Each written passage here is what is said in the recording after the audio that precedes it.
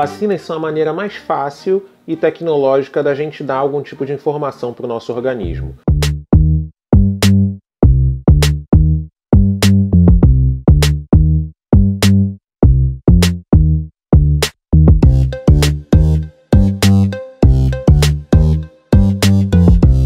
As vacinas que a gente tem disponíveis para o coronavírus, a gente tem a Coronavac, a vacina da Moderna, a vacina da Pfizer, a Sputnik 5 da, do Instituto de Pesquisa Russo e a gente tem a vacina de Oxford em parceria com a empresa AstraZeneca. Basicamente, todas essas vacinas são seguras e a única coisa que muda é a maneira com a qual elas dão informação para essas células do nosso sistema de defesa.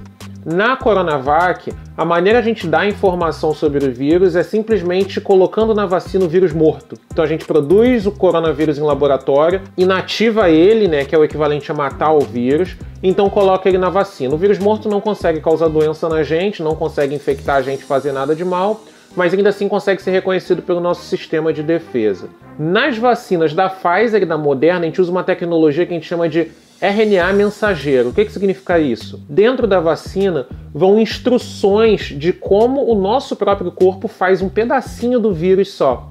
Quando o nosso corpo produz um pedacinho do vírus muito pequeno, que não é capaz de formar um vírus inteiro, não é capaz de infectar e deixar a gente doente, o nosso organismo percebe que tem alguma coisa errada ali, que a gente está produzindo algo que a gente não deveria e monta uma defesa também contra aquilo. Já as vacinas Sputnik 5 e a Oxford AstraZeneca, elas usam uma tecnologia um pouco diferente. Eles pegam um vírus de chimpanzé, que não faz nada com humanos naturalmente, e ainda assim, por segurança, deletam desse vírus de chimpanzé os genes associados à replicação. Então esse vírus ele não consegue proliferar, ele não consegue se multiplicar dentro da gente. Junto com esse vírus, eles dão informações de como fazer um pedacinho da proteína do coronavírus. Assim, esse vírus infecta a gente de maneira falsa, ativa o nosso sistema de defesa e quando ele chega lá, ele encontra também pedacinhos do coronavírus que as nossas próprias células produziram. Essas são as principais vacinas que a gente tem no momento, e tirando a diferença de tecnologia, todas elas até agora se provaram seguras, e os dados de eficácia que a gente tem até agora são muito parecidos.